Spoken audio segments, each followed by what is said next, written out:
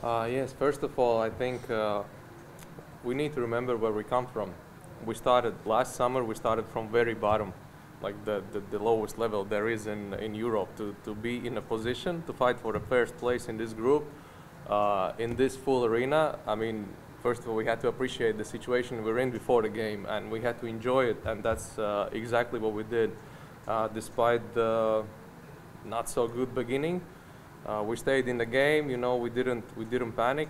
Maybe we're usually sometimes we kind of break. You know, today we stayed in the game. We knew we'll we'll figure it out, and uh, the approach we had in the second half, uh, how we came out, how strong, how we defended.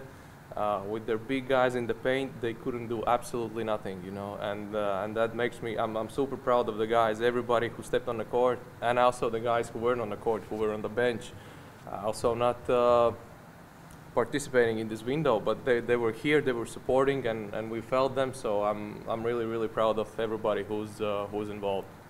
I mean, if you ask me, uh, of course they did an incredible job to stop their bigs. I mean on defense and uh, and also on uh, on offense because the points in the paint what we scored was uh, was unbelievable. We, we scored so many layups, you know, and playing against these big guys. So uh, if you ask me, in order to against who we had to play, this was an excellent performance.